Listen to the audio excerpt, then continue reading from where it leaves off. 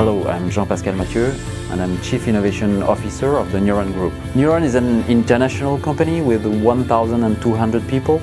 Uh, we are uh, in several continents uh, with activities in, in Asia, in Shanghai, Europe, uh, Northern, Northern America. And we are really dedicated to try to find digital solutions to real people problems uh, so uh, uh, we help brands to help their own clients bring better services to their own clients, thanks to digital.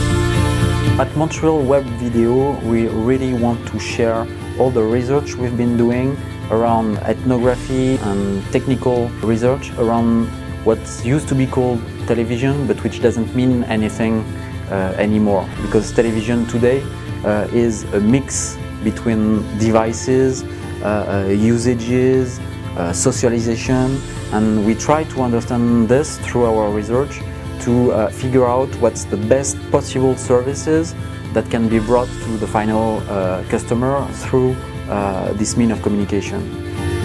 It's very important to talk about this right now uh, because uh, all the usages are going faster than the offer. So it's important for our clients uh, who are, for example, in, in Canada, TVA or Videotron, but also in France, France Television, or in Italy, we work with Sky.